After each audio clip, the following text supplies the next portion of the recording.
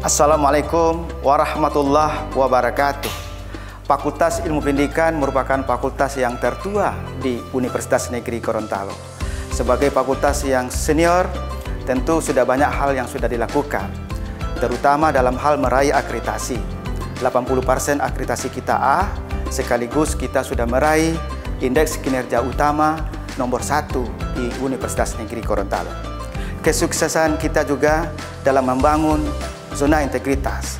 Semua program-program unggulan yang terjadi di sini merupakan kerjasama di antara segenap sivitas akademika.